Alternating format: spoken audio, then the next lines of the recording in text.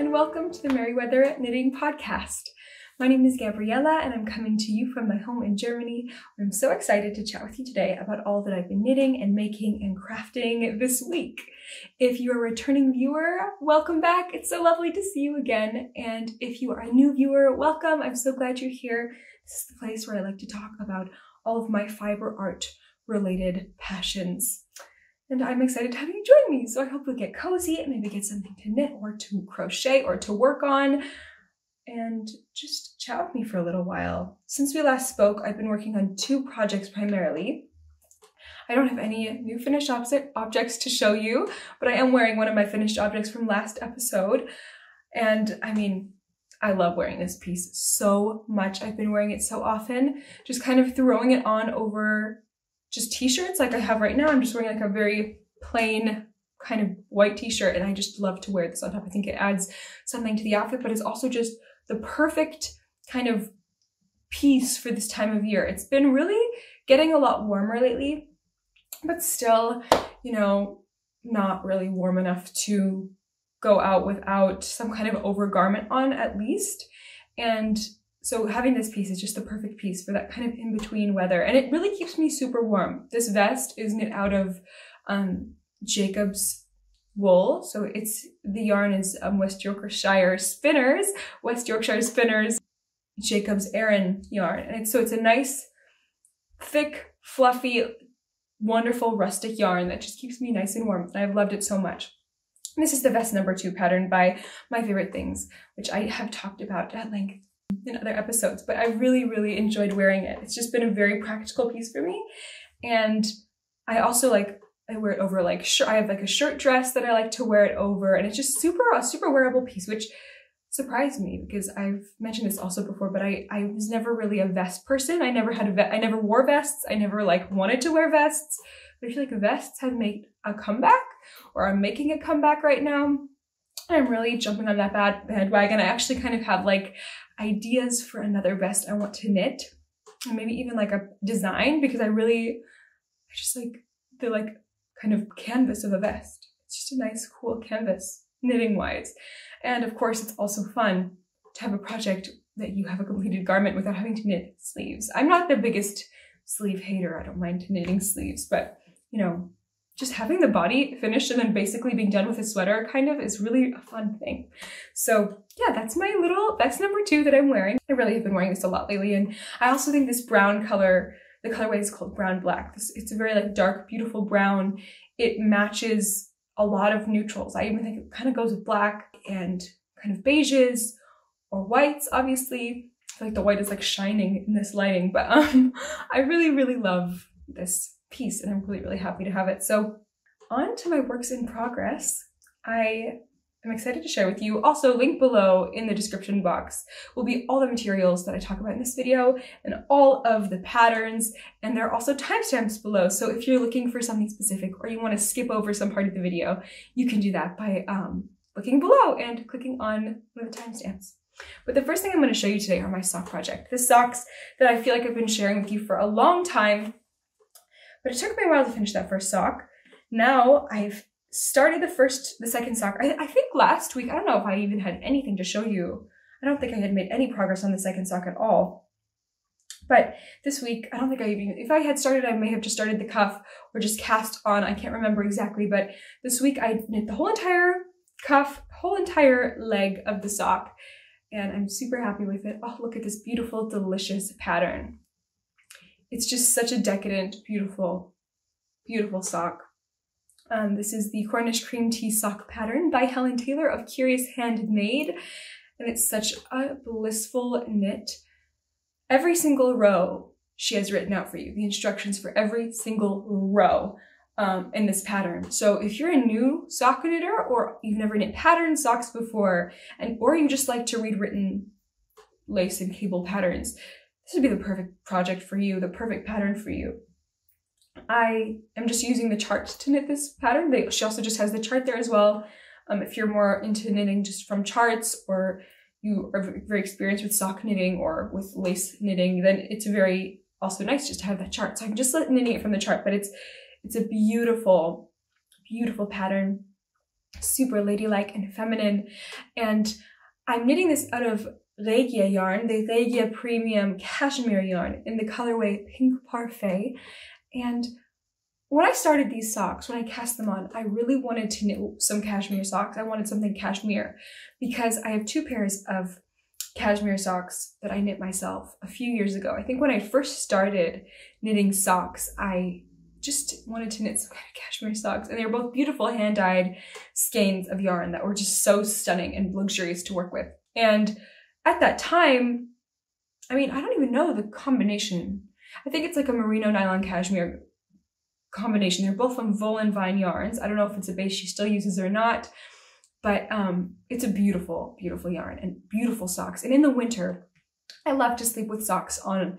And when I put these socks on and get into bed, I just feel like a princess in them because the cashmere and the merino, I mean, the cashmere just gives it that little extra bit of luxury. And I feel like for me in life, just that kind of like touch of luxury, like a little tiny bit of cashmere makes me feel just like so good. It really elevates my life experience. And I even think, you know, even just wool alone um, does that for me too. Like wearing this vest for me is like luxurious. I feel like, you know, any wool, any, I feel like natural fibers give that feeling for me, this kind of like, I don't know how to explain it. It just makes me feel connected in a different way. I guess I have a different feeling from wool than I do from like cashmere or silk. Cashmere or silk really give me this princessy feeling.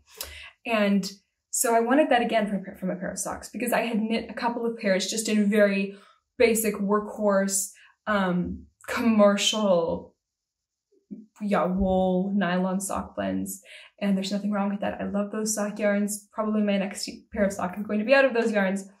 But I just wanted something more decadent.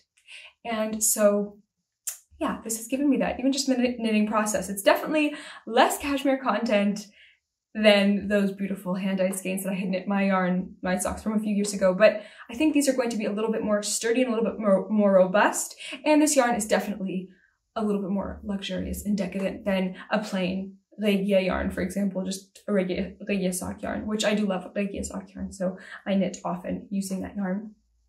But these are going to be gifted to someone very special to me who really deserves to feel like a queen and like when she puts on socks. So I hope these give her that feeling. And I think that that yarn combination with this beautiful cable lace pattern and just this colorway, everything about it, this femininity, this ladiness is just a beautiful, luxurious pair of socks. So I'm so loving these, these socks. I love knitting on them. I definitely want to knit another pair of kind of patterned socks soon with, you know, not just vanilla socks. I love to like add something in there for my next well, in the future, a future pair of socks in the not too distant future.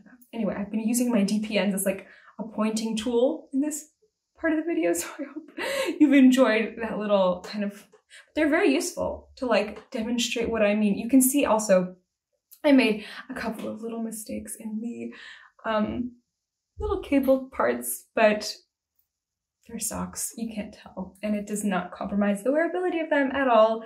I don't even think they're very noticeable unless you're really, really looking, but who's looking that close? So I'm very happy with it. I'm just enjoying these this knit. It's so much fun. It's such a joy and it's really just gives me that little like extra bit of, it also feels like a, a springy knit for me because of the colorway, because of that kind of little tiny bit of little lacy, laciness that feels like a little bit of a springy, has a springy feel to it, which I really have enjoyed. Because here in Germany it's taken a while to get warm, although last week. It was so nice and warm. On Sunday, which was Mother's Day, um, I'll share that with you a little bit later in the video.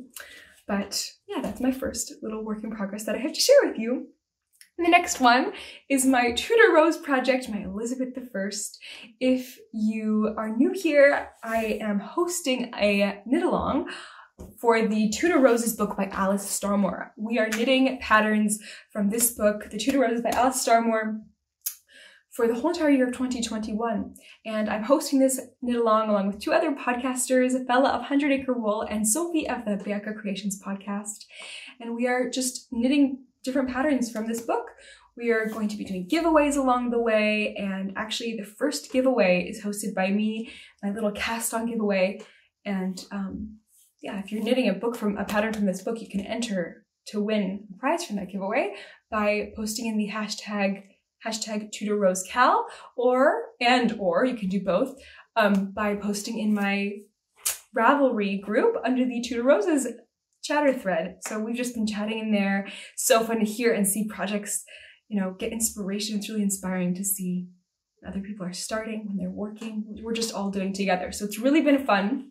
And if you'd like to enter, just post in those places, either one of them or both of them, and you can win a prize. And feel free to join the KAL. You can also join it later on in the year. It goes the whole entire year. So just an open, open it along. But I've really, really, really been enjoying my Elizabeth the First. I'm holding it in this beautiful, beautiful project bag by Noble Character Crafts. Oh, so, so beautiful. And it's just been the best companion. Oh no, there's a little fluff on it. So don't mind the beautiful, the cat fluff in my bag, but it's the most stunning, amazing bag. Perfect size for my sweater project. I am almost finished with the first ball of yarn. I have my second one right here at the ready in the bag. And there's lots of space still, so I know that the sweater's definitely gonna fit in here along the way. But yeah, I have about this much left of the first ball, so I'm getting close to the end. Since we last spoke, I've made good progress on this body, on this piece, or this side of the sweater. As you can see, I've knit up over the cuff. I think I was about here last time. I actually put a stitch marker, I think, where I was um, last time we spoke, which I think was about here. My little Progress Keeper stitch markers are all from Mithgarn, who is also a podcaster here on YouTube. She's a German podcaster, and these are beautiful, beautiful stitch markers by her. They're little stones, lapis lazuli stones, and I think that they just match so well with this yarn, which this yarn was very graciously sent to me by Virtual Yarns, which is the Starmore yarn company. And honestly, knitting this pattern using this yarn has been such an amazing experience. You really feel that this pattern is designed with and for this yarn because it just fits so well together. I love the fabric that this is creating. I really love the fabric. I love the density of it. It's not really dense, the kind of like the closeness of it, the tightness of it. It definitely feels like a piece that's going to wear extremely well. And I just like the structure that it has. I feel like lately, recently, I've been knitting more, or often I think a lot of patterns using fingering weight yarn tend to have a little bit of a looser gauge for garments, which is also, you know, nice in its own way. But having this bit more sturdy, robust, yeah, I guess a little bit denser fabric is really, really nice and really lovely. And this colorway I chose is the Machair colorway. It's super beautiful. It's kind of a green, neutral green, which is worsted spun with lots of other gorgeous, beautiful colors. You can see there are blues in there, reds, um, warm tones, a couple of little cool tones. It's just absolutely beautiful. It's it's really a very multi-dimensional, gorgeous yarn, which I'm just enjoying knitting with so, so much. And the pattern is such a breeze. Honestly, this is such an easy knit in the best way. It definitely takes engagement as far as like, you know, you're not knitting in the round, so you do have to purl, but I'm, I really like to purl and I love to purl. I don't know. I just have nothing against it at all. I really enjoy it. As you can see, I've begun this center V. Uh, the pattern has a deep V cabled pattern in the front and back. I'll put a photo here of the pattern as well so you can see how it looks completed, but I've just started that here. I've made some good progress on it already, and I really love it. It just adds a little bit of interest to the pattern. But this pattern is definitely doable for a knitter who maybe you don't have a ton of experience, or you are kind of new, a new knitter, or maybe you just don't want something that takes a ton of mental brain power, but you still want to knit kind of a very elegant, very structured, beautiful, timeless garment.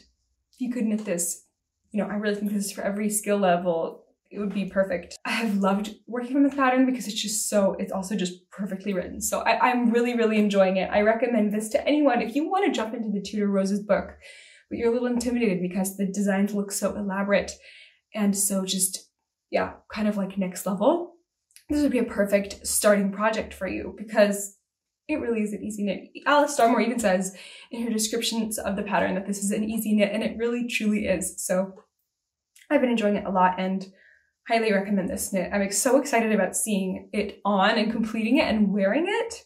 I'm already just, I want to have it on. I can't wait. I can't wait for the autumn because I think by then hopefully I'll have it finished and I can just get a lot of good wear out of it. It's a very dramatically shaped pattern.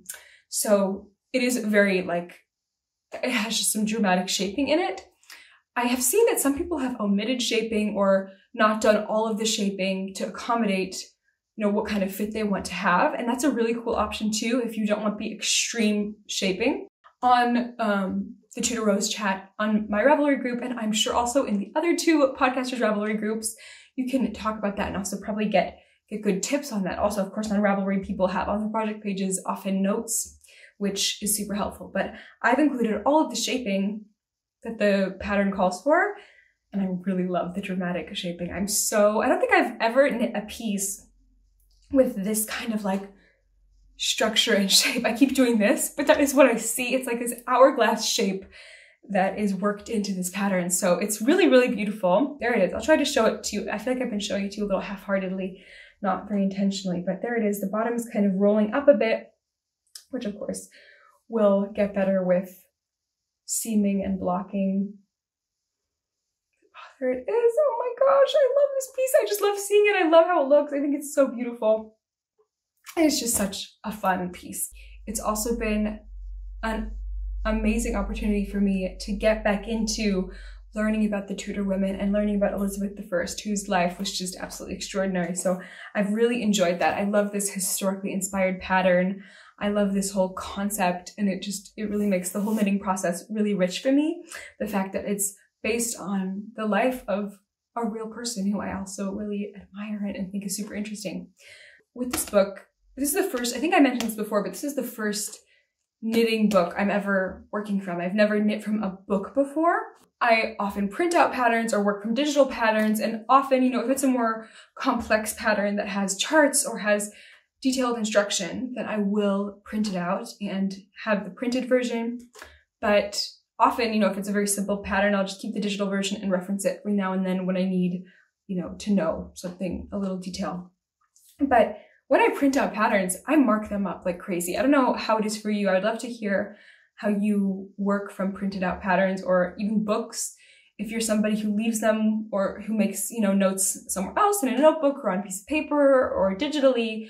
But I, on those pieces of, on those patterns that I print out, I like mark them. I like cross things out, cross out other sizes, circle my size, do all my notes, do all kinds of like marking to this paper until it's basically like you can hardly see the pattern anymore. I really, really like mark up my patterns when I print them out. And I always think, yeah, it's printed out. I can always print it out again if it gets legible for me.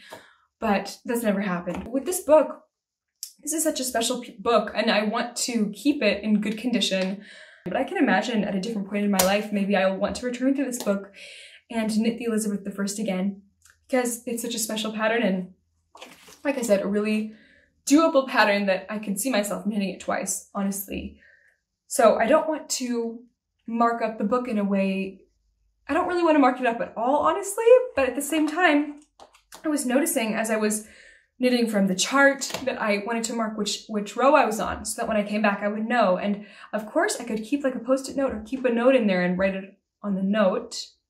But I don't know, I'm not, I'm really like somebody who dog ears pages in books. I'm not I, I use my books and my things pretty intensely. And I also like love bookmarks and I'm careful and all that. But I just use things pretty heavily. But with this book, I really wanted to be very careful about not marking it up in a permanent way because I wanted to return to it. And I'm going to have to knit this twice, you know, both for each side. So even coming back the second time, I, I didn't want to confuse myself at all.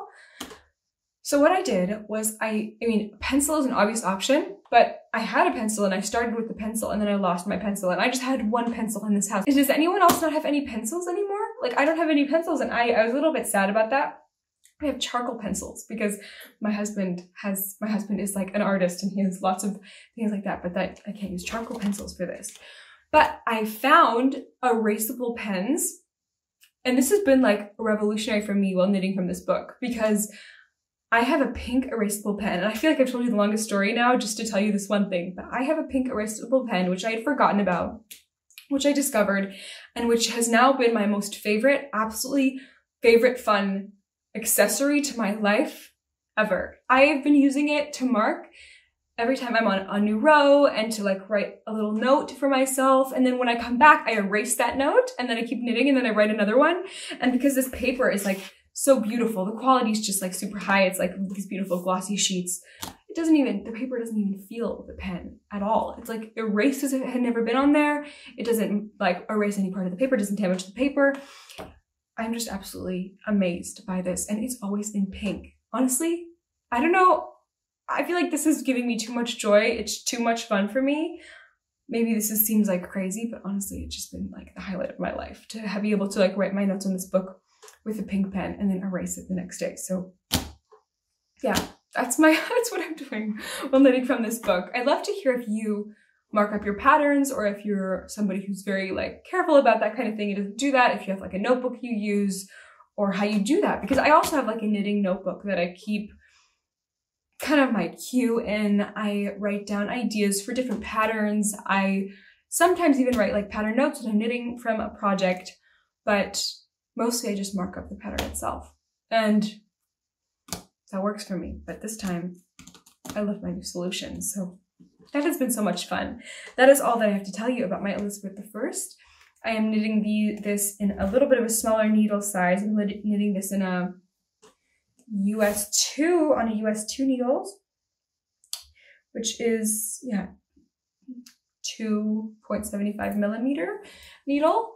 Um, I think that might be a little bit smaller than the pattern calls for, but not very much, I think. So that's what I've been I've been doing. Those two projects. That's all I have to share with you project-wise. I would love to hear what you're working on and what you've been up to the last couple of weeks. And I have one more knitting related thing to share with you before we talk about kind of personal updates. And that is this little penguin pat knitting pattern book. It's actually not just patterns, it's a knitting book. It's called the Penguin Knitting Book. I don't know if I've shared this with you before on the podcast, but I got this a few months ago. Nick, my husband, gifted this to me. And I've really, really enjoyed flipping through this in the past week or two. It's by James Norbury, and it's including six patterns for over 60, you know, including patterns for over 60 garments, the Penguin Knitting Book. And um, it was first published in 1957 and packed with wonderfully nostalgic designs. This is the classic guide to British knitting, it says. So on the back, it also says, I know of no homecraft that enjoys the universal popularity of knitting. So it's a very cute, classic book. And it was a really, really good gift because I've learned so much from this book just by kind of flipping through it, reading it, reading like about different techniques, casting on, casting off, um, you know, just all kinds of different things. It's really like a little reference book, which is wonderful. And there are also super cool, sweet vintage patterns here too, which are just so cute and so much fun. And I'd love to knit from one at some point in the future.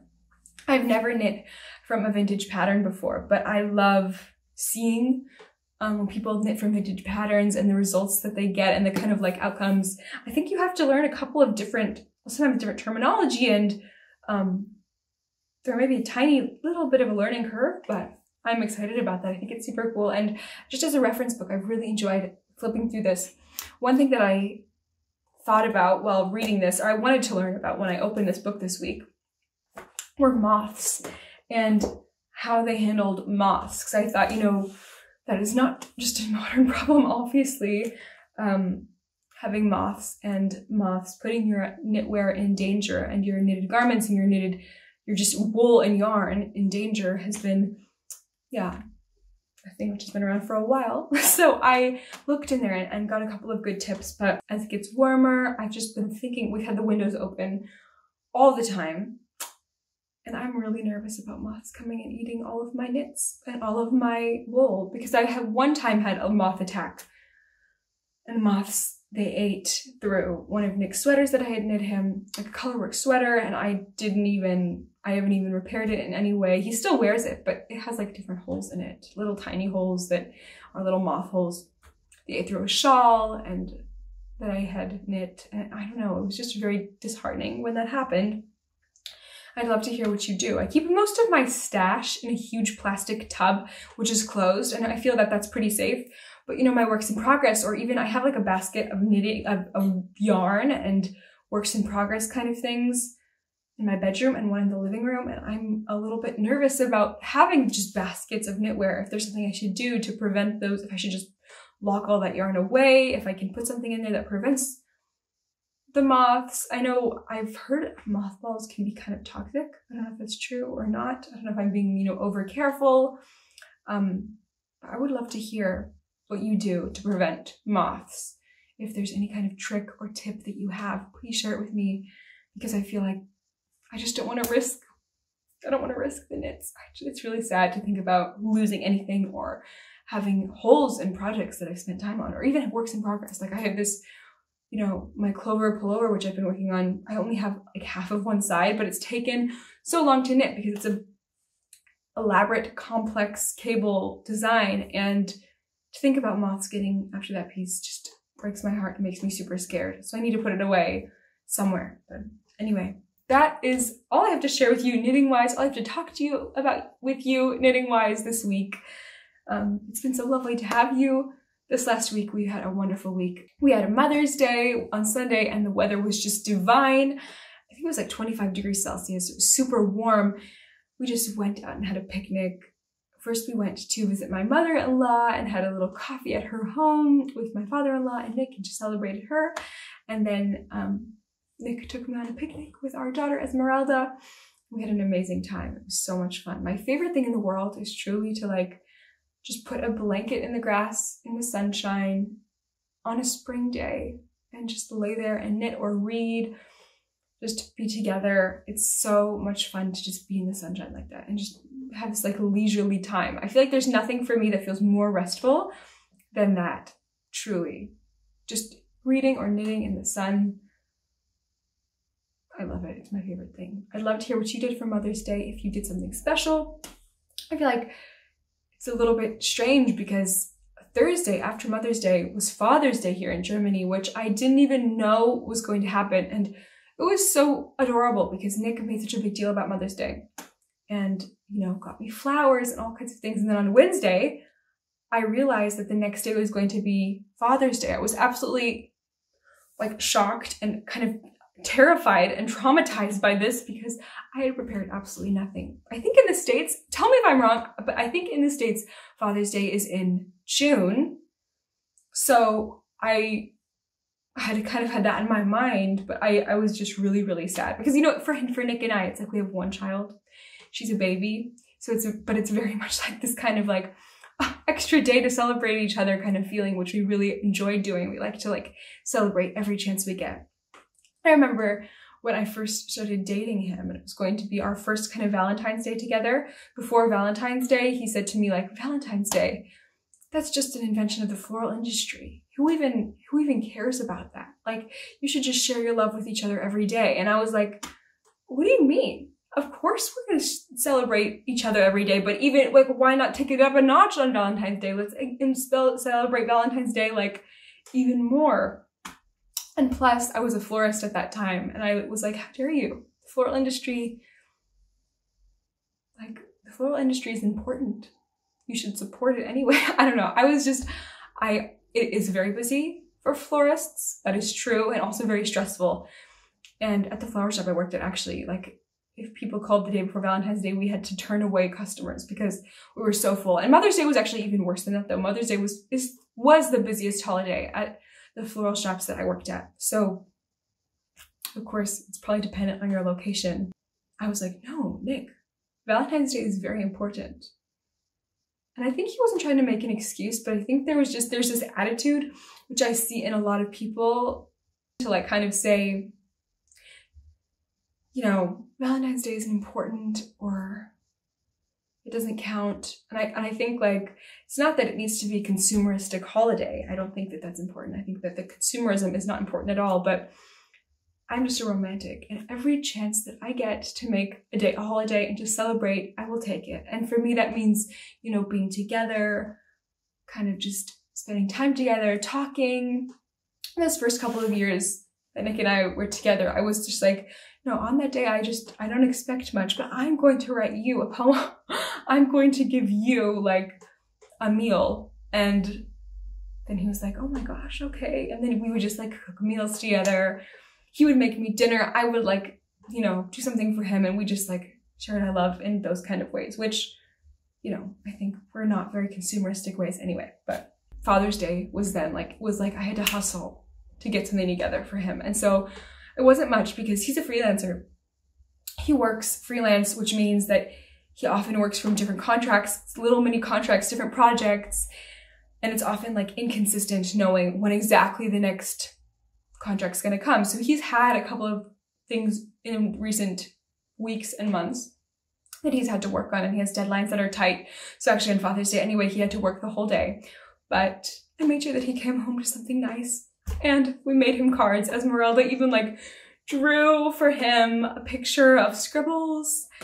But I'm gonna celebrate him a second time on the American Father's Day so that he feels very, very celebrated because I felt so celebrated on Mother's Day, which was so lovely.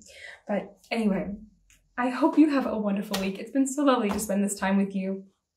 I feel like I've been a little jumbled in this episode, but I hope that you've enjoyed sitting with me. And if you have, please subscribe, join, leave a like if you did like this video.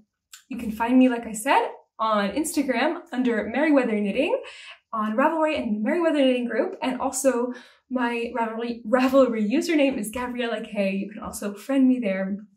You always get in touch with me via DM or in the comments below or on Ravelry Messenger, wherever it suits you. I'd love to hear from you and to chat with you and to connect. It's just so wonderful to have this community. So I hope you have a wonderful week and I look forward to seeing you again next week for another episode. Bye!